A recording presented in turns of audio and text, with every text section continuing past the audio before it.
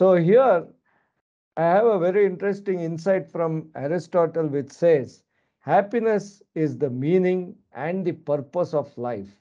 In fact, the whole aim and end of human existence is about gaining happiness. And if happiness has to come, very interestingly, it can also raise eyebrows. There was a situation in an office where a person was very happy. Then people would wonder why he was happy. And then he came up to Aristotle and then he said, Sir, you said that happiness is important and the purpose of life. But now people are questioning me why I am so happy. So it's a very interesting thing that even if you are happy, there is a problem, and even if you are not happy, there is a problem. All men by nature desire knowledge. People are looking at knowledge as a source of happiness. And in this quest, I can say that it is through knowledge that we can attain excellence and happiness. And a person who is dedicated to both excellence and happiness, that is, excellence being we are what we repeatedly do. Excellence then is not an act, but a habit. So here is Dr. Nandlal sir, the professor, head department of pedodontics and preventive dentistry, who is from the JSS Academy of Higher Education and Research, JSS Dental College and Hospital, who has dedicated himself to the field of pedodontics. In fact, Dr. B. Nandlal sir got his BDS way back in 1984 from Annamalai University and his master's degree in the specialty of pediatric and preventive dentistry in 1987 and 89 from Punjab University. His additional training in the year 1986 to 87, he completed the senior special trainee in Medical College Madras in the year 1985 and he also underwent a program in the educational and clinical training for the period July 2005 to 7 at the International Association for Orthodontics. In 2007 and 8, he completed his PG diploma in hospital management with SJCE Mysuru. Dr. Nandlal has been awarded with a string of trophies and awards for outstanding achievements.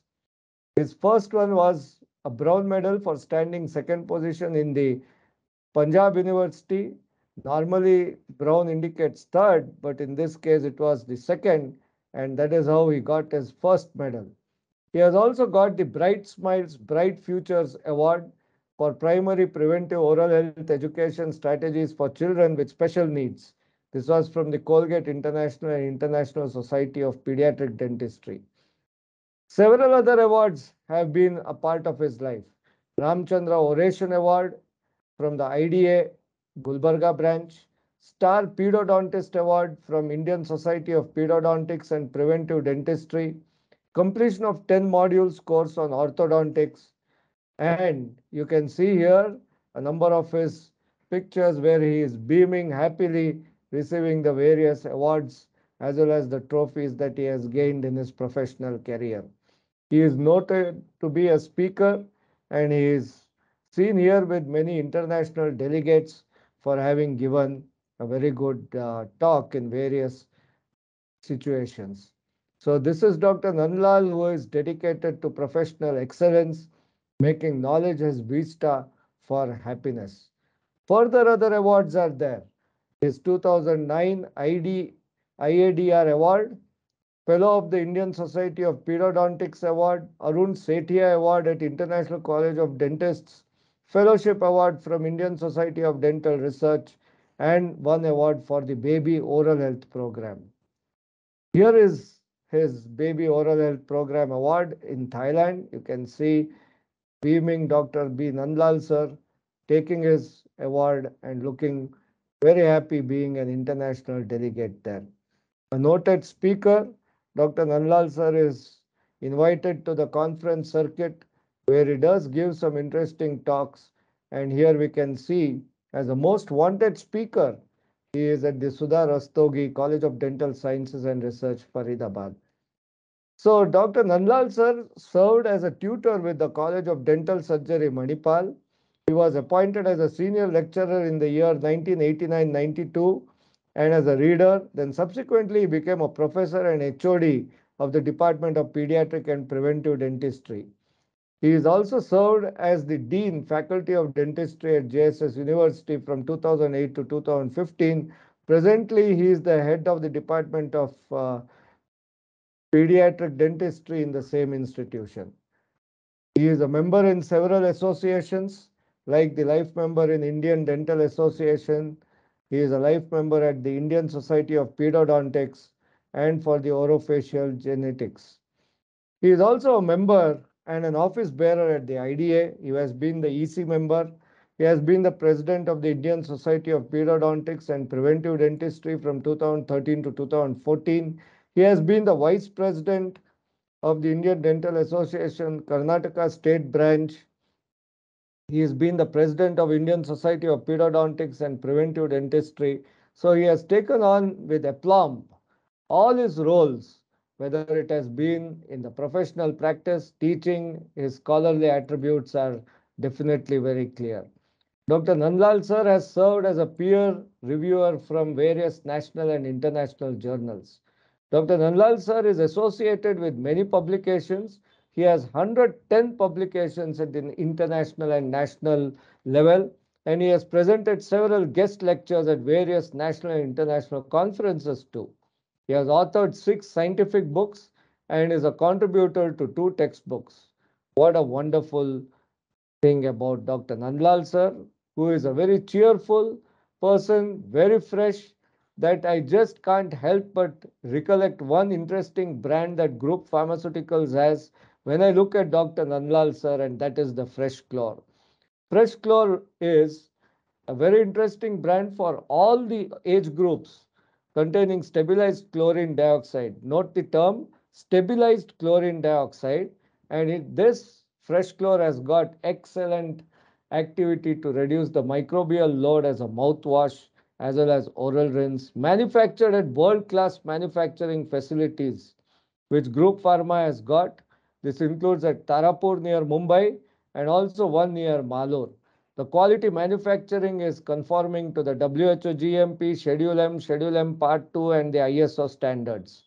In fact, there are a lot of certificates that assure the quality of the products from Group Pharma and the facility is also matching the guidelines as per PICS, which is an important body which helps assess the various manufacturing facilities. Our commitment to CSR is also 100%. In fact, we also believe and we are committed to that important sentence of our professional life healthy smiles matter. We all know that dental caries, as per the World Health Organization, is a major public health problem and is the most widespread non communicable disease. And this has been included as the most prevalent condition in the global burden of disease and study. In fact, severe dental caries can impair the quality of life and tooth decay is a frequent cause of absence from school or work. Now, Ms. Vandana, who is also there from Group Pharmaceuticals here, will help me conduct the quiz. The quiz consists of just three questions. I'll flash the question, the fastest finger first. Whoever types the answer first, he will get a gift hamper. So here comes the first question and Ms. Vandana will indicate who's the person who has given the first answer accurately and correctly. Name the active ingredient of fresh chlor accurately. Name the active ingredient of fresh chlor accurately. Ms. Vandana, are you able to see the various uh, answers? Yeah, uh, right now it's not coming on in the chat box. Okay. So I request people to answer quickly in the chat box, you can present your answer. Name the active ingredient of fresh chlor accurately. That means I want the correct name to be typed there. Name the active ingredient of fresh chlor. If any answer comes, please read the name of that individual, Ms. Vandana. Any answers? Or should I pass this question? If people are finding it difficult to answer this question, there are just three questions and you can please answer it. The fastest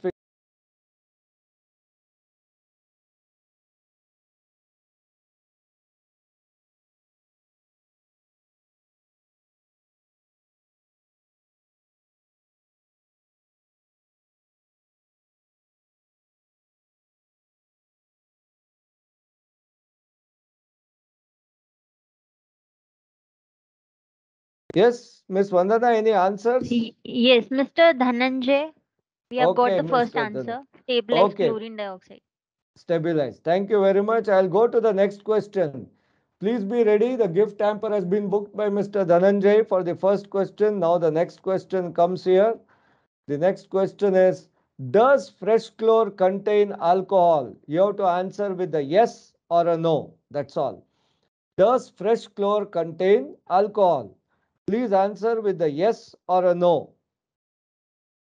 The right answer, Miss Vandana will indicate if the Yeah, person has answered. Yes, It's yes, uh, madam. no, and it has been answered by Mr. Suraj. Mr. Suraj, thank you very much. We will go to the next question. Let us see who will answer this. State true or false. Fresh chlor does not cause taste alteration and tooth discoloration. You have to just say true or false. Fresh chlor does not cause taste alteration or tooth discoloration.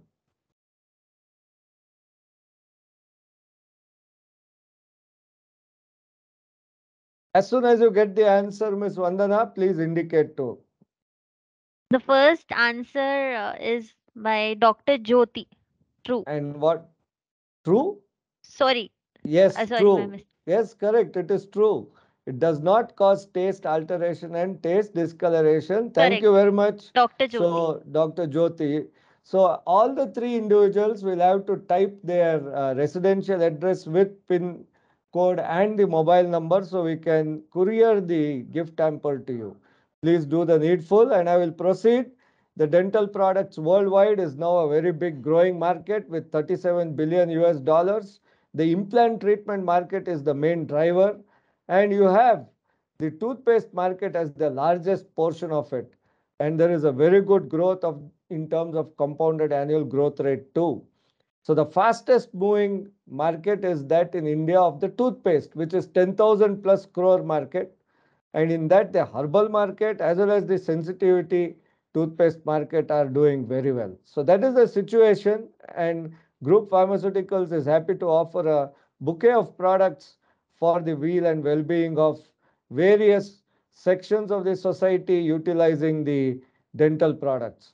So we also have a recent introduction in orthodontic appliances and also the pediflor in the orange flavor, which is also a very popular choice among the practicing dentists. JSS Academy of Higher Education and Research, with whom we have a partnership and we are uh, MOU signatories. The crest jewel of JSS AHER is the JSS Dental College and Hospital, which has committed itself to becoming a center of excellence in dental education. And the objective is strengthening the healthcare of the country. And obviously, JSS AHER, through its various courses and colleges, is contributing to the world of oral care and pharmaceuticals because the Indian pharma industry is the world's third largest in terms of volume and stands 14th in terms of value. India is among the top six global pharmaceutical producers in India. So do ex, ex, uh, do accept our thank you for all your support. And now I will be requesting Dr. Nandlal sir to speak. So before that, I am happy to announce Dr. Nandlal sir has joined in and he will be representing now the his presentation. So here is Dr. Nandlal sir for you. Dr. Nandlal sir, warm welcome to you. You look very smart and the stage is yours. You can unmute yourself, Dr. Nandlal Yeah. sir. Thank you, sir. Thank you. Thank you. Thank you for the uh, wonderful uh, uh, introduction and uh, also to know more about your company. I, at the outset, uh, until I start this presentation, I hope my slides are visible. Your slides are visible, sir, and it is full screen. No problem. Okay, thank you. So I thanks once again on behalf of JSS Academy of Higher Education to uh, each and every one of you, and in particular Group Pharma for uh, making this happen and uh, uh, put across uh, my thoughts across of my 32 years of my experience in this uh, region, particularly uh, India and Asia. Um, I had very much opportunities to work uh, on the area of high risk caries in children, ear- being a challenge today, as we all know, globally, um, uh, the, all the uh, six uh, uh, area, regions of the WHO have shown decline from time to time, but it has reached that stage that it is now in the plateau phase. So what is the reason of this?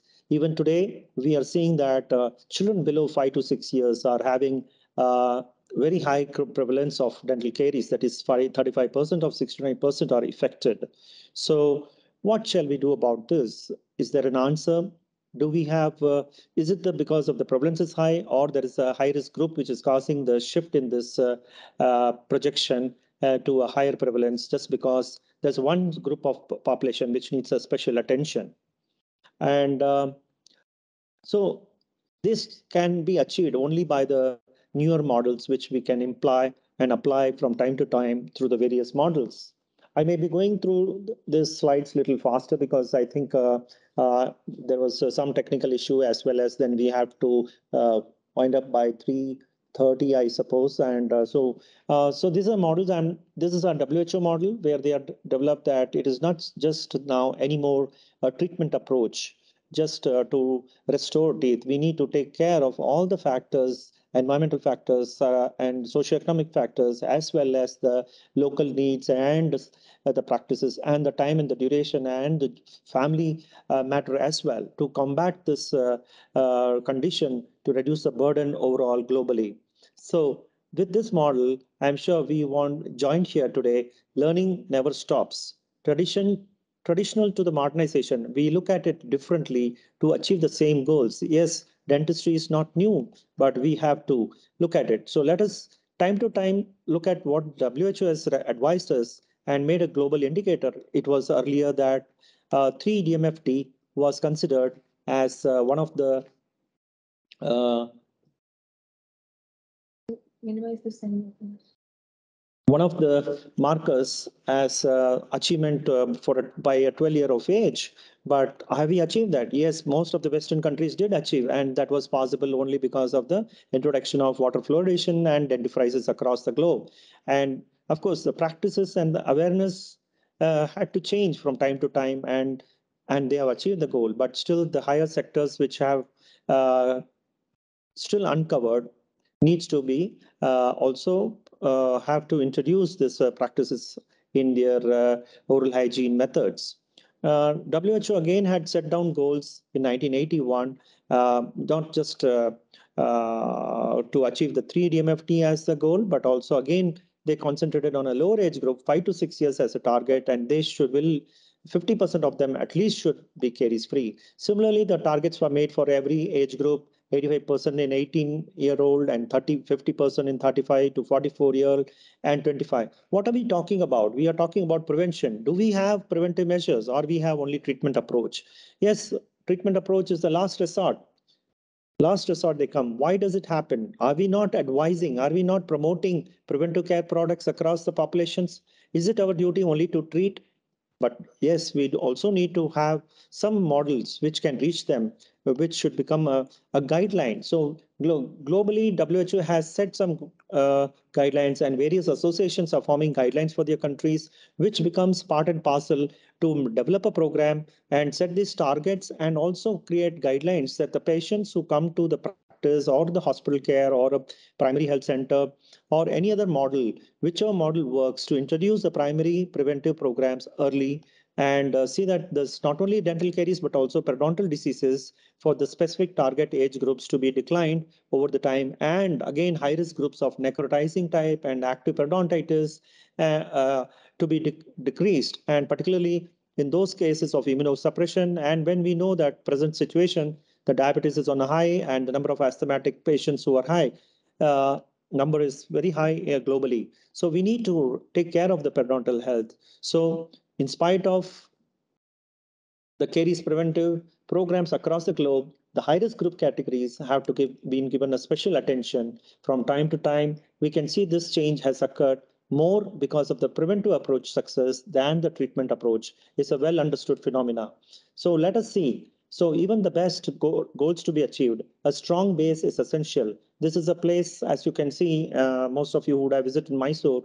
Um, it's one of the famous uh, church here, which is an Italian model. So every recently it was again redone uh, again. So even the best of the best needs a, approach to take care. And I need not say to recall that it is a combination of the factors of uh, the host microbes and the dietary, but also the social, cultural, and behavior aspect. So it is being a biosocial disease which needs a complete attention.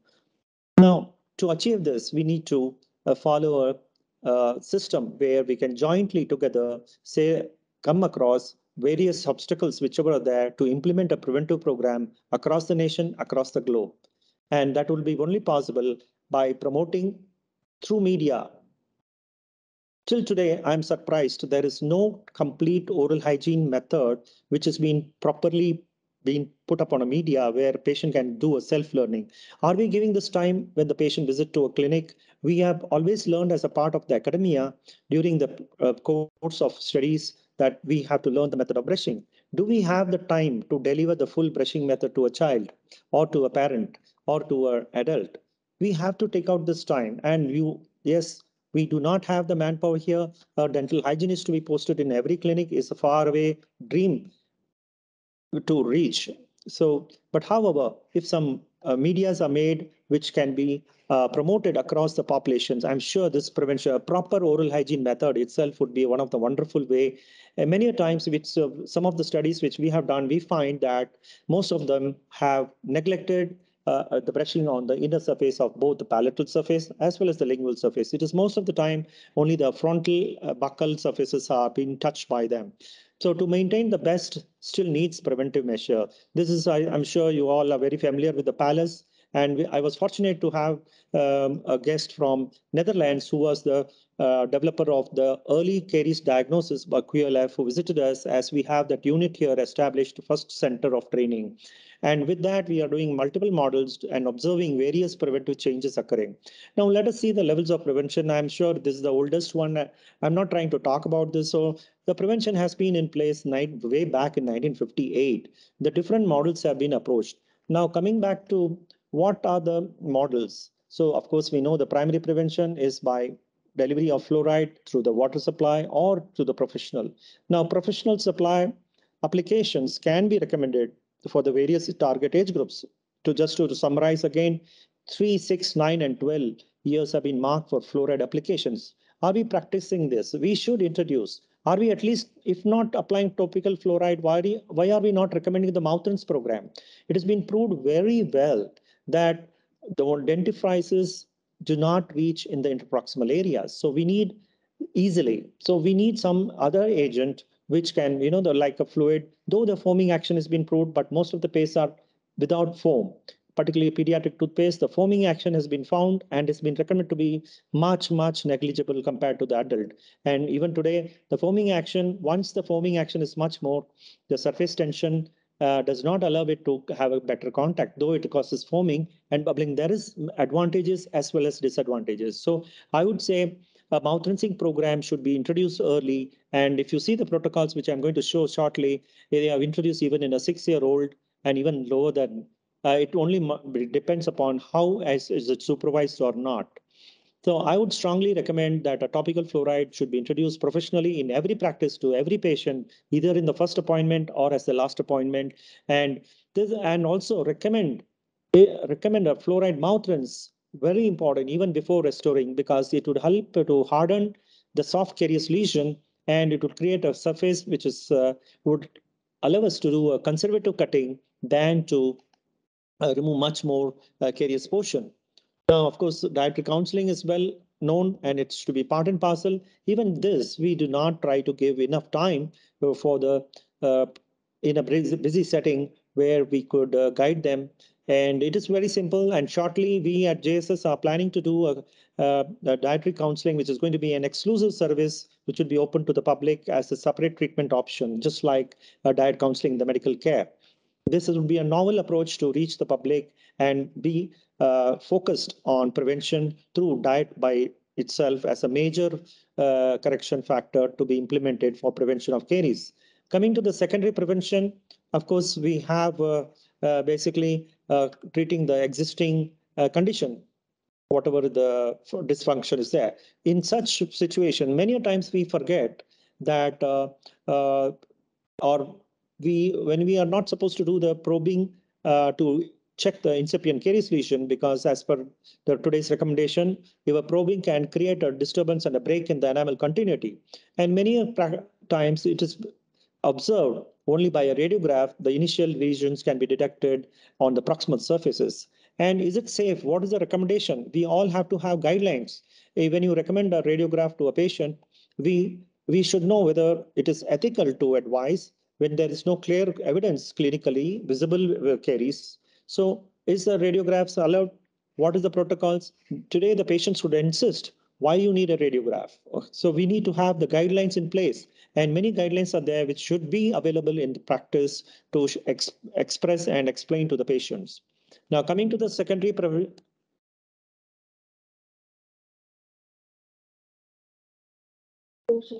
Yeah.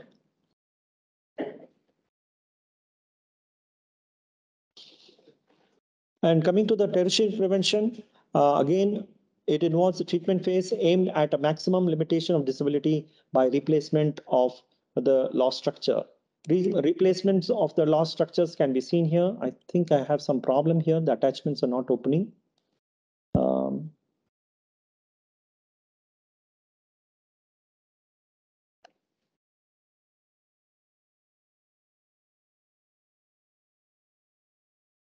I will be switching over to some other presentation parallelly here to just, uh, is that okay? Or I'll show it in the end. Yeah, okay. better you show it in the end, sir. yeah, so this. yeah, so I'll proceed with this and some of the slides I will mark it. So the tertiary prevention is the replacement of lost teeth structure and uh, uh, it may be um, multi-surface caries lesion. It can be a extracted space due to premature loss of the primary teeth, etc.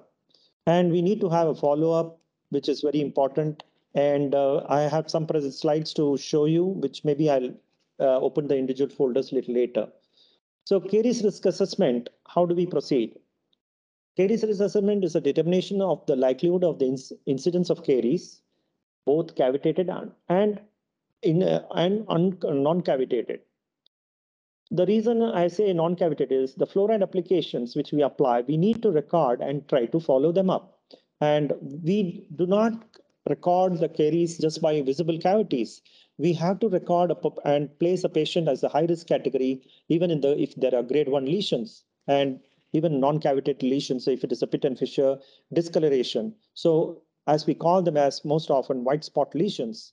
So they if we if we record these changes and we see that they are not progressing over the time over a three month or a six months to the next stage of cavitation or uh, it may even worse even a uh, it may go to the discoloration from a chalky white to a brownish discoloration. So, and whether it is arrested. So these type of observations have to be done from time to time. Unless we document this type of uh, uh, caries assessment in the initial lesions on the patient file, we'll not be able to proceed further.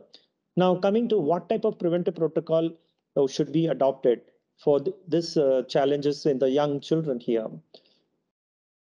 Now, I would like to just run through from time to time. You can see way back in 1995, there was a clear discrimination that uh, what, how do you brand, how do you put a patient into a low risk, moderate risk, or high risk based on the past caries experience. I'm sure in the uh, uh, olden uh, books, we can see that whenever they say high risk caries, it was only the rampant caries, nursing caries, or multiple caries lesion. But look at the changes now. Uh, the WHO itself, when it has recommended 3 DMFT as the goal of WHO, that means it should not have been much more than that, that over a period of time for a specific age. So when we are talking in terms of uh, high risk, low risk, and moderate risk, it depends upon what is the past caries experience. Uh, if you look at this, we can see very uh, clearly that uh, when you say low risk, there should not be any decay. And um, when you say moderate risk, it's a past experience of DMFT of DMFS of zero, only one active lesion, one active lesion as a moderate caries in a child. And high risk is two active lesions it is a very sm small and we call them into a high risk category. That means a special attention has to be given even if there are two decay teeth. But when do the patients turn up They come with 10 decayed teeth and much more challenges, more pain, and we are trying to do treatment approach. So where have we failed? So again, it is very important we recognize these conditions very early. Uh, when the adults are visiting a practice, so will be their children, so will they be asking uh, care for their kids. It's time that we take care and see the future generations are uh, not having much burden uh, both to the family as to the global challenges. Similarly, adults as well, we have a similar uh, type of uh, uh, criteria. I'm not going, I'm going to show you a series of this uh, criteria because I'm just trying to say way back 1958, 1995, again, if each and every association globally have are developing how to combat these problems. Do we have this in our practice? Are we not having our duty to deliver these models to our patients? Is a very important aspect which we should introduce in day-to-day practice, both at academic centers as well as eh, at a private practice setups. So even this uh, new recent one included various other parameters. It would be some time that you one would have a diagnostic lab or a oral biology lab in an Indian setup where we can send these variables. Uh, but however, uh, the future is all these biomarkers would be available today to be used on the chair side, like we already have a pH uh, detecting strips uh, by two of the companies uh, which are uh, available even in India. So at least one method should be adopted to diagnose what is not visible which uh, most of the time what happens the patient just clean brushes very well on the day and come. Are we disclosing the plaque? There is no point because the day they come to the visit we tell them to clean up well and come we are going to do a filling directly. So that concept is strong. We should see how is he coming on a routine day.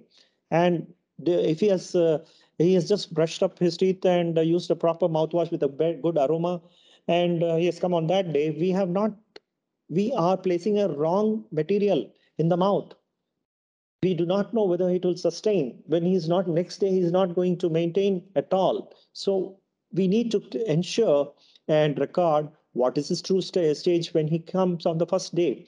Most of the time, we do not. Of course, always we say patient wants to have an appointment and a treatment day as the first day itself. But we have to dedicatedly spend more time for recording uh, the basic uh, uh, findings and see how is he going to go forward and how are the changes going to take place when we are going to restore his full mouth rehabilitation. So again, uh, this is another famous uh, uh, AAPD guideline for caries risk assessment called as SCAT, and some of them are very simple to adopt. I was just telling you that in a high-risk group is uh, um, new caries, uh, two caries lesion. Here, they have said that it is caries lesion. I'm not going to discuss much all in detail here, but I'm trying to highlight about the caries experience. Low risk is if no caries develops in 24 months, only then he's at low risk. Whereas earlier, it, this type of definition was not there. It was just uh, only concentrating on 12 months, no caries at all. Here, within 24 months, suppose he develops after uh, within 24 months. So the past 24 months totally, he should not have caries. Then, then only you can call him at slow risk. And when do you call him at high risk? The caries teeth when in the past 12 months, if he's developing. Again, uh, this was further revised again uh, in a short uh, table like this so that one can keep it in a private practice and easily find out whether he had caries during the last 12 months or whether he had between 12 to 24 months and more than 24 months. If you follow one variable, I think we can achieve our goals and we know what are we doing. Are we rehabilitating, trying to build up windows in a burning house? Or are we trying to extinguish the fire first, which is the which is the bacterial and the host uh, habits and factors which would be responsible to sustain whatever restorative care we are. What is the point building up, uh, giving a uh, restorative uh, uh, cosmetic filling when the basic hygiene is bad? So is it not the duty that hygiene is restored first? So it is very important to improve the general health through oral health. Uh, a special uh, program was held uh, by International Conference, Asian Academy of Preventive Dentistry, and I was fortunate to join there and present the needs of this uh, challenges. How do we monitor working together in search to meet the goals? And what are the tools, other tools available? I just showed the past ones. I'm going to show you some more uh, simple methods which we can adopt and uh, age-wise we follow. Again, it's very important that the the preventive measure, the fluoride regime at least can be followed in children right from six years and at least coinciding with the ages of, uh, um, of course, socioeconomic reasons would be uh, not allowing them to use, practice mouth rinsing throughout. Like though they, we recommend for adults, you know, you can use a mouth rinser twice a day, but why not once a day? My protocol here at JSS, we follow at least weekly once. There is a recommendation very clearly in the guidelines, weekly once mouth rinsing should be allowed and at least at the peak ages, peak ages of 3, 6, 9, 12, corresponding to the eruption of the young permanent teeth, which are still immature because there is something called as post-eruption maturation. So I would recommend strongly to follow a mouth rinse program at least weekly once if it's a socioeconomically issues are there, or at least during the peak phases of this 3, 6, 9, 12 years where the maturation is taking and the, when the fluoride gets incorporated during the maturation phase, it has got a deeper penetration and it will help uh, would, fight or it would help to become more resistant to the cariogenic challenges across. And yes, even in adults, there are situations what the question comes whether adults it is going to work out. Yes, it would work even in the adults because there are always micro cracks available. Seen most of the teeth, if you see, there's a percentage, 50% of the population do have micro cracks in the all both anteriorly and posteriorly. And uh, there is always such a need for interproximal areas which need to be attended to. Yes, the other most important recommendation today is high risk in for uh, high risk caries is application of fissure sealants. Sealants have changed from time to time. I'm not going to discuss the, in detail what sealants are, but how many of the dentists or how many of us are practicing sealants? If we are looking at the cast we are we are trying to seal the teeth even before the caries develops. Uh, we are doing a service and at the same time we are also earning. It is not that the caries is not going to, you know, it, it should develop and then we need to fill it up. Even sealant has got the amount of the cost for a sealant is equivalent to that of a filling. So if you do the sealing for these young children, the more they would definitely be uh, free from the pain and the, the challenges which they have to meet when they have to suffer with the pain and miss the classes and come over uh, with uh, with multiple visits. Yes, sealant has been recommended today. Earlier, it was thought of only for young permanent teeth, but today it's recommended even for deciduous teeth. If all the first and the second primary molars can be sealed, it would be wonderful. And today we have a glass ionomers, which is again very nicely uh, showing a good retention and we have done studies to see that there is a retention rate and a cariogenic reduction has been observed. So my strong recommendation again is glass and sealants for these young children would be a wonderful way we can do service and see that the burden is reduced and it would become a national program as well. Fluoride tablets is not available in India, but it has been in practice in some of the countries and it is still available in the OTC in most of the countries. And I do not know whether this is part of the dental pharmaceutical company pro product or whether it is uh, uh, going to be a medical uh, pharmaceutical product. I'm yet to uh, really see whether there are any guidelines which should uh, not allow this uh, to happen in depending upon the country to country, where and how it should be. The additionally is fluoride varnish. Now the sphere of swallowing, aspiration has always been there. We just stress the need of um, need of uh, uh, method of uh, topical application of home fluoride application is by mouth rinse, but in the professional way, we apply APF gel or we apply sodium fluoride. but then we do have what is called fluoride varnish. of course, we have, I've just given one example. We have got many uh, even Avoco company has got bifluoride is there.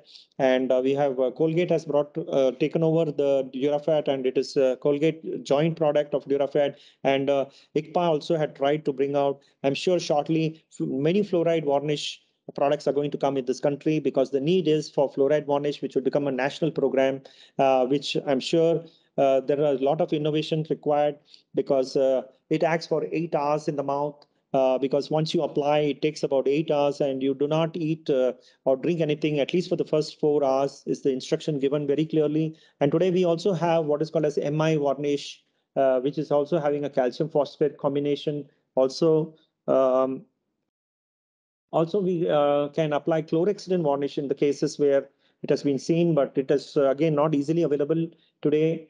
Uh, chlorhexidine varnish has been tried. It is another area which can be explored. It's a future market for the country, uh, as we can see here.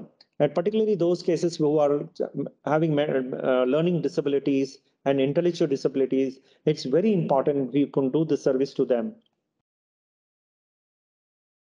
So secondary and tertiary, uh, as I said, rehabilitation, total rehabilitation, and extractions are part and parcel of this uh, care. But however, diagnosis should be taken by bite-wing radiographs. Now I'm giving a very simplified uh, uh, protocol uh, to be assessment protocol, which was uh, uh, taught to me when I was uh, a student. So I always keep reviewing that and seeing what the changes are. Of course, this is a, looks very traditional, simple, and basically we should categorize them once they are in a medical having a medical history we consider them at equally as uh, high risk straight away then comes the dental history previous dental treatment diet and oral hygiene habits and a family history if the fam the full family i know these are all very strange uh, when you say family history it has been proved that there is always a transfer of strep mutans from mother to child is well documented and if the mother is having a uh, untreated mouth. And uh, particularly you do find 50% to 40% of the populations who have not yet visited the dentist still in their lifetime and suffering with the dental disease. So why are we in that stage? Why are we not having uh, the healthcare delivery system uh, not have this inequalities among the populations? We need to mitigate these uh, inequalities and only if we reach with multiple programs nationally or through locally with the various NGOs, we can achieve these goals. So this was one of the oldest concept, increment of one caries lesion per year, smooth surface lesion. Please, please observe smooth surface lesion. Once you see the chalky white appearance, uh, yes, we should not have the temptation to drill and try to fill it up just to make it uh, uh, look cosmetic. Let me tell you, when you do a a small filling on the buccal surface, I'm sure though whatever color matches we have, uh, there would be a difference. There will be a border shown up after some time. And we are talking of kids. I'm, do, I'm sure they will not be able to reinvest multiple visits again and again. But the same thing with the treatment, you the fluoride chart regime or a fluoride varnish or fluoride regime also would achieve and reversals are achievable. We have seen the reversals and many studies have documented very clearly that they are, you can get back the normal uh, enamel uh, color back to its normal uh, by both chromo uh, uh, colorimetry method as well as we also have seen from uh, quantitative light fluorescence method and even dentocult um, dent, diagnodent, which is a caries detector, which we can see that caries has been arrested and rather reversed. Yes, decalcification in the cervical third of the teeth is a big challenge, and I'm sure that this is well known. And rampant caries, nursing caries, and a plaque score, institute score. And yes, disclosing is a big challenge, but there are indices which we have been trained to use and uh, see that. Now, coming to the diet history, uh, it's total sugar exposure. It's very important to get at least 24 hour diet recall and uh, try to uh, help the patient, like, you know, uh, even it can be done on the same visit. He, the patient can recall the diet uh, backward 24 hours and you can charge them. Diet counseling is uh, chargeable. Today, there are clinics making, you know, obesity clinic. They pay some thousand rupees, 5,000 rupees package for six visits. Why not we, dentistry? Why not we do the diet counseling? Who has failed to give the diet counseling? Is it the general dietitian or is it the pediatrician? Why not be delivered through us? We have the right we have learned we are supposed to deliver our diet counseling and we can do at least the total sugar exposure there is going to be a shortly a program on this again from our organization training for diet counseling and i'm sure each one of who wants to benefit from this program can register with us and learn how to do go ahead with the diet counseling and it which can be a chargeable service so total diet exposures is eight. Now we are talking of total diet exposure eight. Normal recommendation is three times. We are talking of kids here. They would be doing a lot of snacking. So we have to restrict that at meal sugar exposure should be maximum. Now it has been proved that at meal sugar exposure is least harmful because the sugar is combined along with the meal and it gets neutralized. Whereas when the in-between sugar exposures are taken, it would cause damage. So this is a, a finding which is not new but I would like to put across at least this general tips to the patient would really help. Please club the two meals together. If the snacking is there, he, a child is having a biscuit at uh, four o'clock and a cake at five o'clock, and six o'clock he has a bunch of uh, uh, sweets. Uh, he's dividing every one hour and having three sugar exposures. It is always to have, if yes, quantity should be minimal, but at the same time, but at the same time, it's very important that uh, they can eat it together. We all know that whenever there's a sugar exposure, the pH drop takes place in 15 minutes. Uh, it comes back to normal in 15 minutes. So if he's taking one or two items, let him have a biscuit and a, and a cake and a milk together. So it will consider as one sugar exposure and the pH drop will remain only for the same 15 minutes rather than to have three episodes of high uh, cariogenic challenge of going below 5.4, a critical pH where the tooth is going to decay. Now, coming to the salivary flow, yes, we have seen, I'm sure you don't have to do a test. You can make out from the patient who's having extra salivation, who's having a dry mouth. And whenever it, and it's a simple test, you just need to keep some uh, tubes uh, with saliva tubes uh, where the patient can select uh, uh, if the high risk group, you have to give them this type of test and it's chargeable again. And you can tell them that, see, your salivary flow is less. And if unless you rehabilitate all the teeth just by one tooth extraction, you are not going to uh, going to meet this uh, and get back to normal. And you have a formula for this. I'm sure many of us know about this. You can calculate for the age specific and stimulate saliva of even 15 minutes who have got a very low uh, flow, uh, uh, salivary flow, we may have to extend beyond five minutes because and they may not have a capacity to understand because when you say stimulated uh, saliva, if they are going repeated tests. Similarly, viscosity, when it is uh, values, uh, viscous, the more the viscous, the more uh, chances of high risk. And so you can see the standard values. pH. So I just now said recently that, not recently, it's more than now 10 years, um, let me tell you, there are. I used to follow this uh, even before the companies used to bring out, uh, have brought out this uh, uh pH strips. Uh, yes, we cannot put in the. We have to collect the saliva sample and uh, put it on the on this pH indicators strips which are available. And let me tell you, in our laboratory, we used to use even the chemistry lab strips I'm sure you would be able to pick up this point and you can use it is very, very economic. Uh, yes, the kit of the pH is very expensive. We all know it. And you can you charge so much to the patient? I some I started with using first with simple chemistry strips, which we use in the laboratories. Now, Snyder test is uh, now available in the form of uh, Dentocult, which is available and uh, still in India, we are not having this. Uh, it, it would be wonderful if this can become a part and parcel. And if it is two plus, that means if the tube shows uh, half of the tube shows color change within 24 hours from green to yellow, it means it's a very, very highly caries active. And this would help us not only to diagnose, but also to monitor. So we are going to do a diet counseling. If the patient has really followed the diet, he would be able to uh, control. I mean, we can see that if any dietary changes occurred and after you have finished all the restoration, because it, this Snyder test is lactobacillus uh, uh, based test. So lactobacillus count is supposed to decrease after restorations, after extractions. All the active caries lesions are closed. So the lactobacillus count has to decrease. And so the Snyder test will show a reversal uh, and it should show negative. Similarly, of course, these are all, you may say it's an academic, academic based testing. But when a medical doctor can send to the laboratories, why not dentists? I'm sure these tests will come in the future pathology labs across the country, and it will be a need to meet the challenges. So this was about uh, now coming to the phase wise. Only emerging, I would say this treatment phase in high risk group should not be straight away load them with uh, uh, restorative care.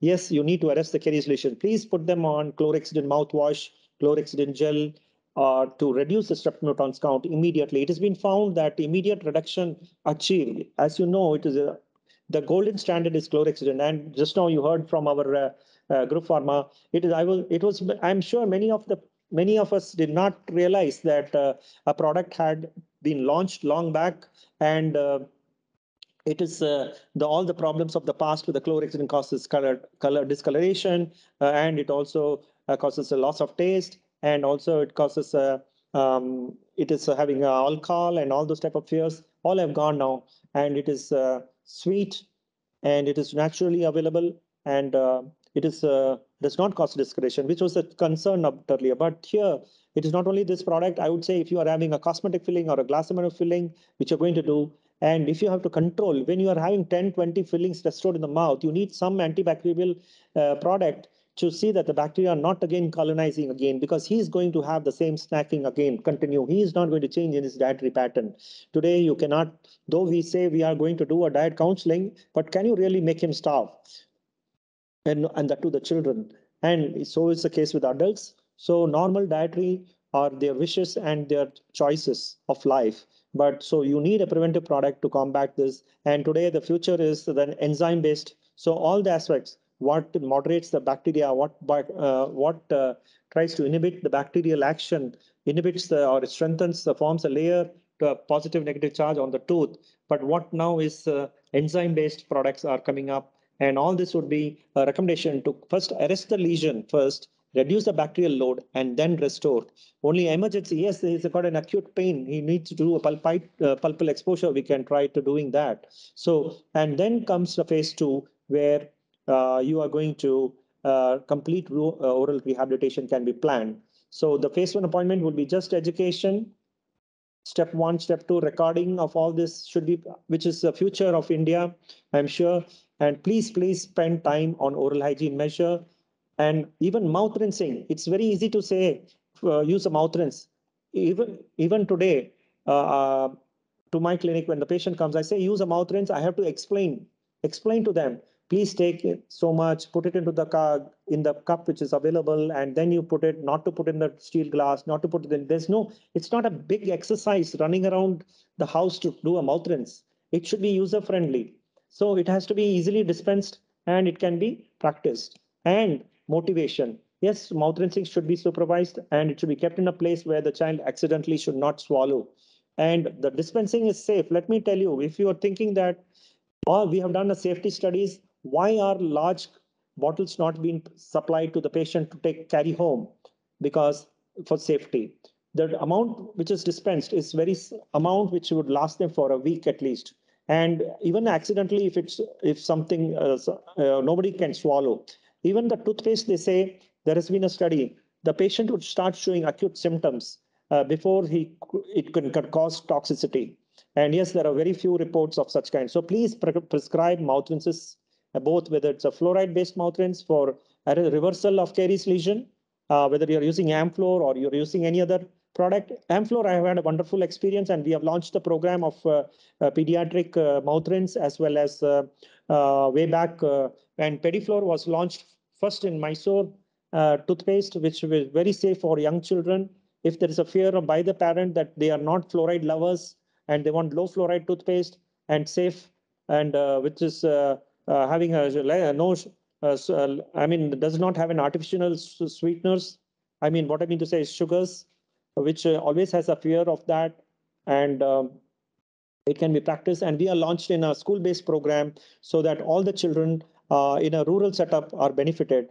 And we have been fortunate that uh, this program has, uh, we, we are doing in children which are residential school children and Pediflor toothpaste has been tried out, and we have been very happy with its uh, uh, acceptability, tolerance, taste, as well as uh, what do you call that, cariogenic, anti-cariogenic effect. And with the though the clinical trial would take about uh, six months to one year, but with our unit of QLF, we can report within three weeks, we can see the changes in the mouth, uh, which can detect to that level of mineral change on the initial caries lesion, which becomes clinically evident to reversal after one year a one-year clinical trial versus 21, uh, which we have seen very easily in our residential school-based program.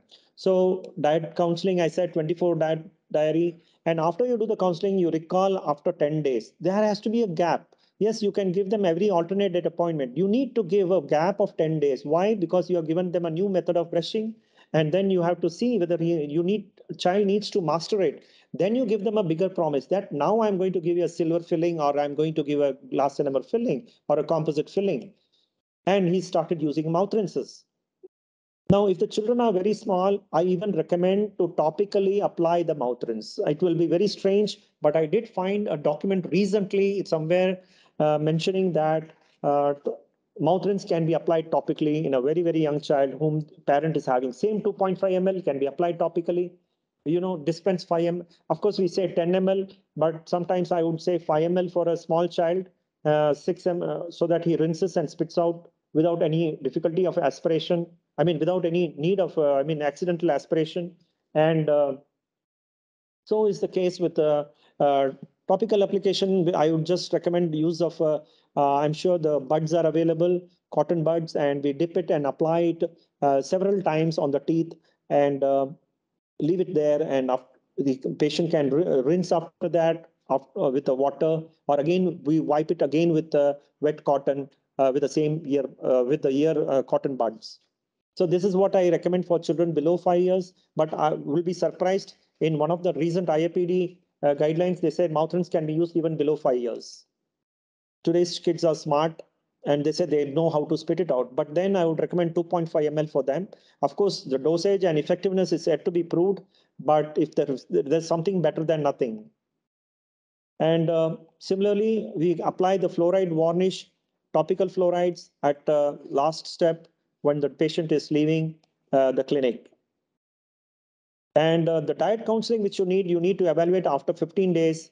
Uh, particularly, you need to dedicate a time uh, for diet counseling because though you have collected the diet diary, you may not have time to do the counseling on the same day. You can do this counseling the next visit because you have recommended them a proper brushing. You have done all the temporary fillings. Now the child is able to eat properly and he munch properly and change the new diet habits has been uh, put where you would have told. One more thing is in high caries group, I would say zero sugar exposure. There is no question of three times. For a period of one month, no sugar exposure, including the milk, has, be, has to be advised very strongly. And you will see the change. You will see there will be no plaque in the mouth if they just reduce because they add sugar to the milk, they add sugar to the rice, they add sugar to the um, banana. Already banana is sweet. They'll put honey to it and sugar to it. Yes, honey is to be uh, proved to be good, but at the same time, it needs to be considered. Of course, scaling and pollination for the older children, please observe the grade one, grade two lesions, whether they are arrested over the, of course, it's a too short time, but you will definitely find some change. You'll see some change there. Yes, endodontic procedures can be completed. So in a period of one month package, the patient should not just get rehabilitative care, but also preventive care. But yes, if you seal them first and then go by step by step, and uh, you can repeat the Snyder test if we have a test or a pH strip test, whether the diet practices which you have recommended, if he has adopted a proper oral hygiene, his pH has changed. And similarly, if you have used a mouth rinse, if you have used a tooth, if the child has started using a mouth rinse or started using a proper fluoridated toothpaste, you will see the pH is, is not low. If the plaque, uh, if, uh, if you suspend the plaque in uh, distilled water and test it on the pH strip, you will find the pH is still neutral. So these are the small tests you can prove to the patient. And if it is still low, you can always tell the patient you are not using the mouth rinse properly, you are not using the floor um, oral hygiene instructions properly. And that way you can uh, introduce. So you can see that uh, topical fluoride 0.05%, 5 to 7, I would recommend 5 to 7 ml. Uh, I have seen this in some one of the documents long back and I'm, I would recommend that for children. But of course, instruction is 10 ml. This is just because the child should be able to keep in the mouth, even a six-year-old child. So, and yes, three monthly follow-up. Yes, to manage the high-risk caries through medical setting is another approach. This is our JSS hospital where we have a pediatric dental clinic. We are promoting this mouth rinse program even to the children who visit to the JSS hospital. And this is a wonderful platform.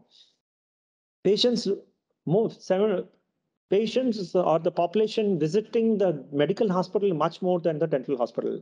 The product moving and getting recommended for preventive measures is one of the model today the FDI and is recommending as well as WHO a center attached to the uh, to the hospital setting. And that would be a wonderful way to achieve this prevention. And as I told you, we are using Amflor product, mouth rinsing uh, to be introduced to the, all the patients who visit our JSS hospital and those who are in inpatient.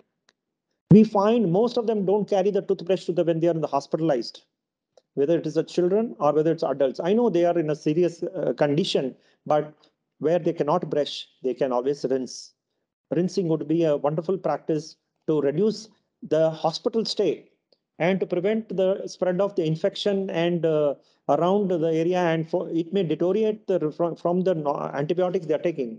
So this is the school which is having 4,000 children here. We introduced this uh, this mouth rinsing program when the first children enter the school uh, because after that they master the brushing and they go back to dentifrice and then we introduce at three year, six year, nine year age groups. I mean six year, nine year, and uh, 12 year age group mouth rinsing program as a compulsory program at our residential school because it's a responsibility of us that these children who are housing they do not develop caries just because they are away from home. And this is our Pediflor toothpaste, which we have also introduced at the school, low fluoride toothpaste, and uh, we are very happy that it's acceptable.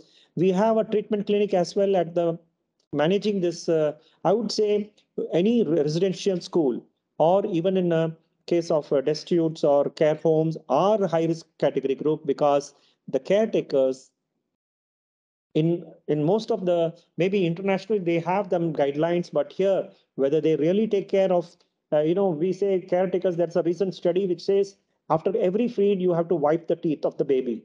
I do not know whether the caretakers would do that.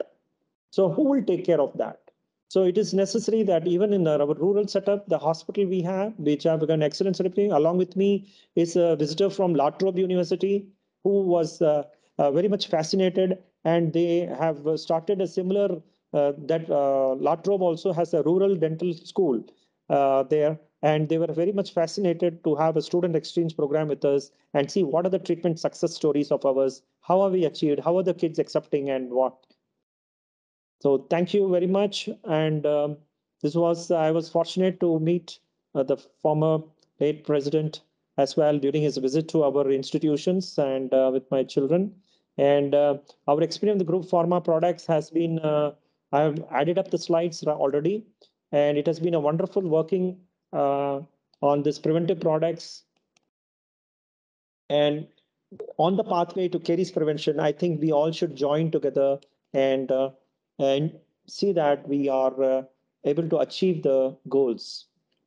And I would like to just share one more, one or two more slides if it is possible to uh, I'll unshare myself.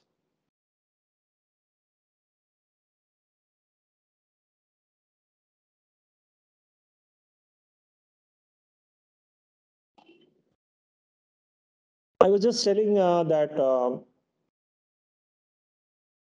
the dietary effects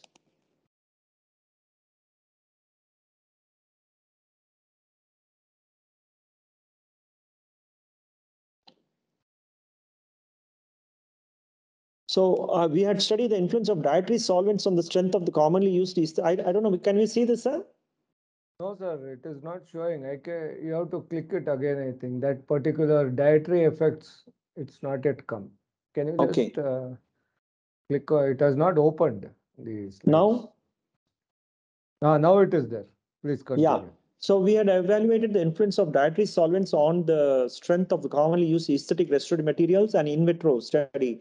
And uh, we all know food stimulating liquids uh, uh, are done in the laboratory setting and see the effect on the restorative care. So we do talk about it, but do we advise anything about it? So that is where I'm saying we should really, really uh, ensure that we are uh, telling them to in, incorporate a diet counseling role. And uh, we found that the, um, the various materials which have been tried here, um, various materials which have been tried here uh, have shown that is uh, Ketac molar, Compomer, and uh, NC. All this have found that there is a slight deterioration as the uh, they are kept in the distilled water, citric acid, and ethanol. But Heptane had a better uh, results. So uh, Heptane type of dietary exposures would be not bad, but when it even a distilled water, it is showing a deterioration in the amount of the punch strength that's called as uh, uh, the, the reason for it to fail. Now, why am I trying to tell this? Now, if you have to strengthen this, so we need to use a mouth rinse with fluoride. So it will recharge these materials and prevent time to time. It Any mouth rinse, we say uh, fluoridated product is acting for 12 hours. So I have uh, even recommended that mouth rinses, of course, it is it good to be used along with the toothpaste or along after after the meal. I would suggest if you're using a toothpaste before the meal, you can use a mouth rinse after a meal. So whatever the diet you had and the challenges have been attacked uh, has caused any deterioration of the diet, it can be uh, against uh, uh, taken care by this fluoridated mouth rinse, which can reach this restorative material and sustain. These were the results which we found, Ketac molar, Com Compomer, and nanocomposite. Nanocomposite had a better uh, strength because of the fibers in it, but still it was deteriorating. It was deteriorating. I did the fracture resistant had gone down. So my recommendation is, uh, yes, heptane type of dietary exposure would be okay, but at the same time, I can always uh, recommend a fluoride product would uh, help to see that these challenges which are made can be reduced. So I would recommend at least immediate mouth rinsing post meal, uh, even if it is after the breakfast. If um, I'm sure there is one or two studies on that, and they have found uh, that it could be a wonderful practice uh, to introduce the mouth rinsing program after a meal. And similarly, I have one more interesting uh,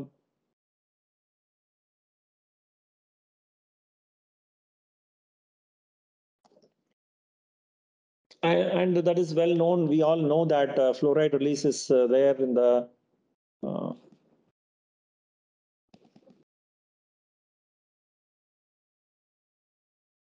Can you see this, sir? No, not yet, sir. Okay. I think it didn't open or uh, maybe Yeah, it's yeah. another screen. Yeah. Now, Yeah, now it's there, sir. And Yeah. uh, I think you can also start closing the thing. Yeah. yeah, yeah, yeah.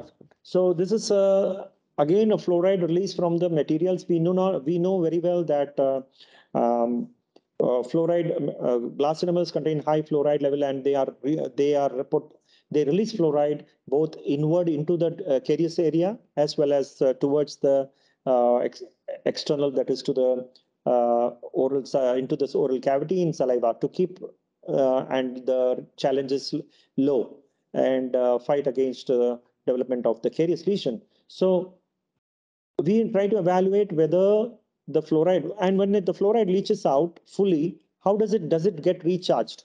The glass ionomer's restoration particularly have got a capacity for recharging. So whenever we are giving a glass enamel restoration, uh, they need to be recharged again. Only then they can fight. So I would recommend again a strongly uh, fluoridated high fluoride toothpaste um, uh, or uh, for uh, like even today that IAPD guideline says you can recommend even high fluoride toothpaste of 1000 ppm in high risk caries group even for children. And in western side they have brought out 1500 and 2000 uh, ppm tooth fluoridated toothpaste for recommendation for adults. So uh, in high risk group, yes, if I say weekly once or uh, the child is using a high fluoride toothpaste would be a recommendation or to recharge this glass ionomer's when when they are uh, uh, most of the children we do not in uh, do uh, uh, amalgam fillings anymore. Uh, we are doing glass ionomer's, and this glass enamel needs to be recharged. And we all know that bonding strength uh, with primary teeth is still a challenge. So unless and until we strengthen this uh, uh, joints of uh, whatever uh, joint between the filling restoration, we will not be able to uh, sustain the the bond as well as uh, success of the retention of the fillings. So this was some one of the studies to prove that the fluoride recharging did re-enter the flow re, of fluoride recharging by use of a mouth rinse and by a dentifrice into the glass ionomer or by a daily uh, usage of uh, uh, twice uh, brushing and uh, sorry once daily and uh, twice daily it was practiced and we did a study here and similar studies are of course there but we wanted to uh, we have done this to prove that uh, really this type of mechanisms do work and uh, were very interesting and to adopt in our day-to-day uh, practice to have a clinical based evidence which helps us to recommend to everybody Yes, sir. So I think uh, we have come to the fag end, sir. yeah almost uh, if uh, i just Have so. just have one more. if you allow me one more uh, Okay. just okay, one. Uh, the hyperlinks did not open, so that's why. Ah, No, I wanted to show some clinical pictures as well. So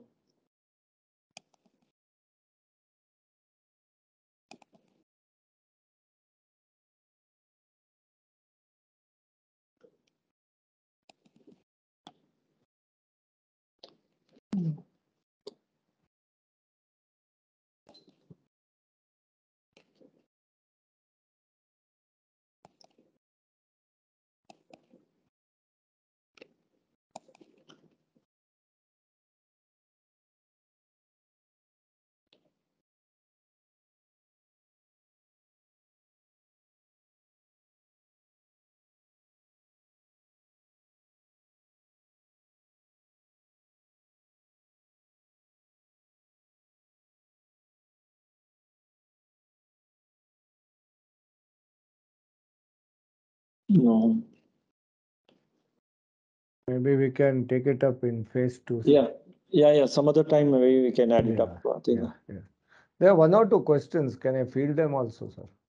Yeah, yeah, sure, sir. I can, I think you should stop sharing.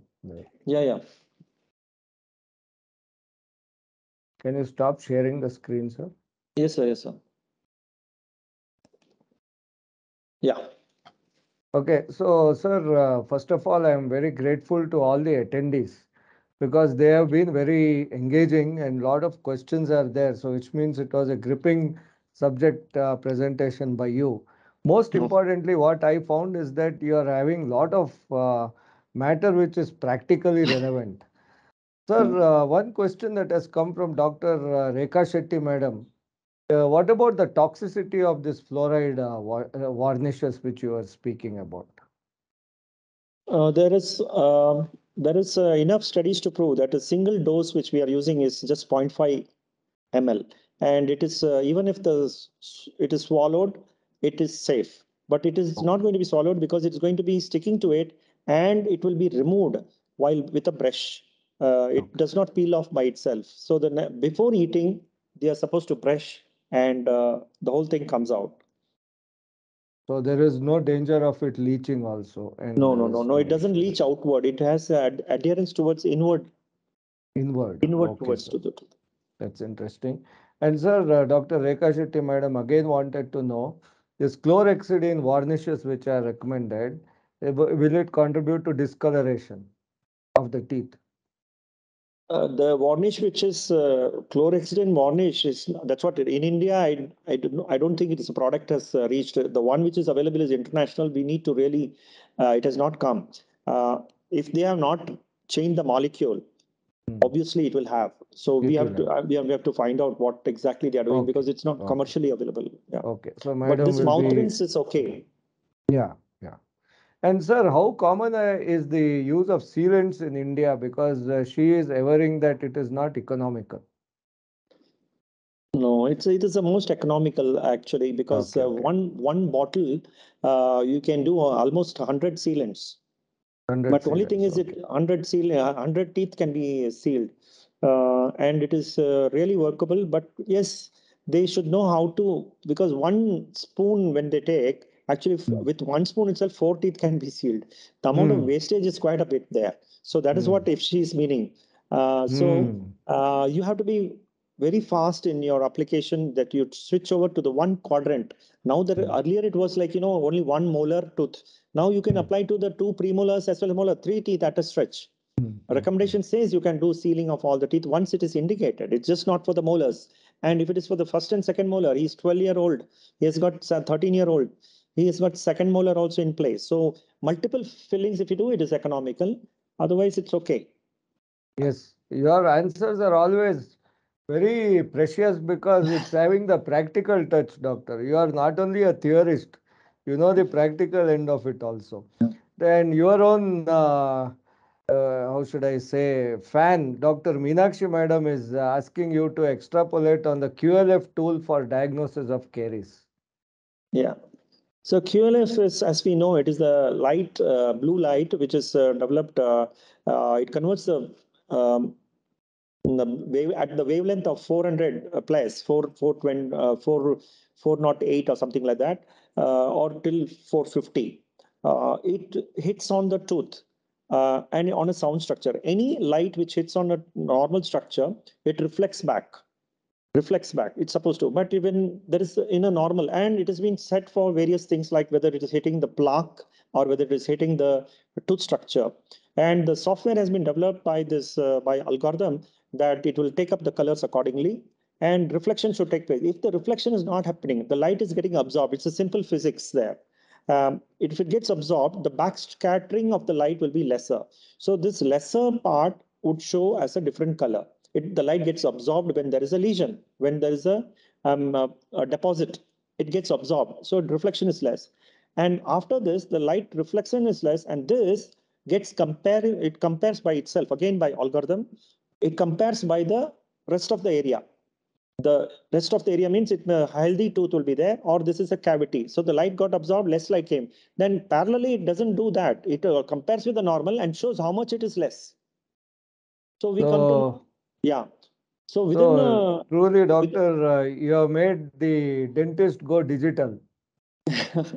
yeah, it need today there is a need of evidence and documentation. Why are you charging 2000 rupees for a fluoride application? Ah, correct, doctor. And doctor, what about the status of ozone treatment to address the concept of high risk caries?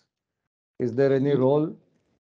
yeah, but uh, there is a need of a device and all the time delivery Yeah. happening. It looks like and uh, whether the person can have it at home.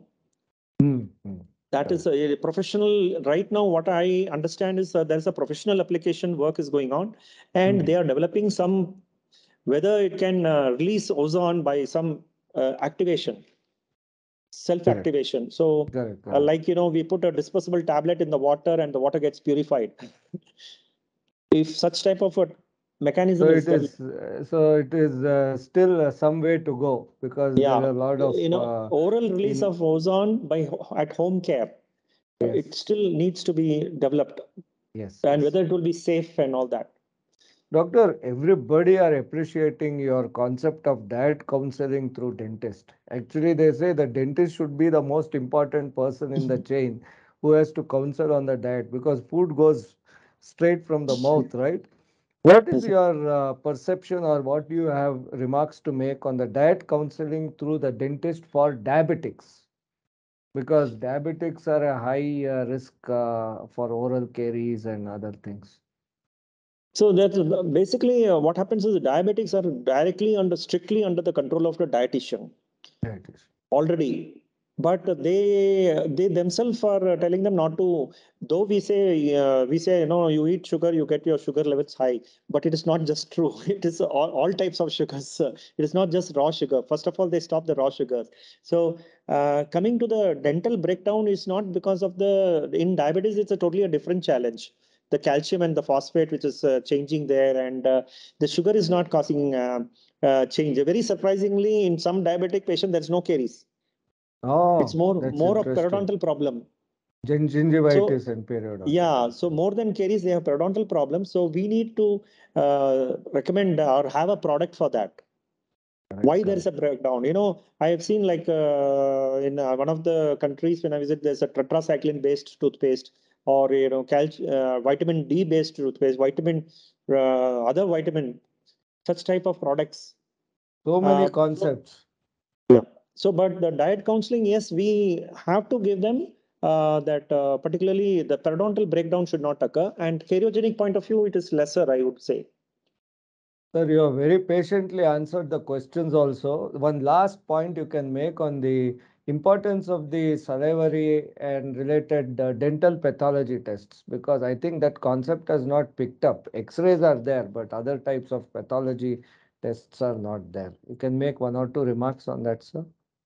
Yes, regarding saliva no sir Yeah, saliva pathology. Yeah, so we are uh, actually doing a lot of tests using saliva here. Recently, we have published uh, saliva as a tool for uh, uh, monitoring. Um, even uh, uh, conventional microbial plating is a very big uh, challenge. Like, you know, we take the sample, we got to go to the microbiology uh, setup, and then we uh, go and record every day or every third day and five days, seven day. Whereas to assay systems, uh, of course, even microbiology also would be having the settings, uh, which are like uh, um, assays which can be done in a bit can be used saliva can be used for such type of uh, monitorings like a, uh, to be frank that we have worked is uh, on sialic acid levels. Sialic okay. acid levels are supposed to be one of the future biomarkers. Future biomarkers uh, yeah. And uh, we have also worked on uh, because in children particularly i mean all age groups you know and we need to monitor we need something quick test. And uh, we also have point of care tests also, which is under patent right now. So I will be telling uh, sometime once it gets patent through. Um, super, super. Uh, but yeah, so but sialic acid is a well-known uh, factor. Everybody is doing research across the world as a monitoring method uh, for a patient uh, chair side. we have also published a paper on that spot test. It's called as a sialidase enzyme. So it will change to uh, it is called ninhydrin test, which has been con con uh, converted into uh, on a, a, filter paper, uh, which can be seen that it is the it reads the amount of sialidase enzyme, and uh, from healthy to periodontitis, and again from periodontitis, using the saliva. And saliva can also be used for doing. Uh, we have done a using saliva, buccal swab, and um, plaque, and seen whether we can study the which one is the best me media to know uh, uh, to study the cariological uh, studies research and including to go going to the level of uh, uh, genomic studies thank so, you sir thank you very much of, yeah. yeah. yeah thank you very okay. much i also take the privilege here to just uh, flash the uh, certificate sir the speaker certificate we are grateful to you for this very candid conversation as well as the discussion that we have had.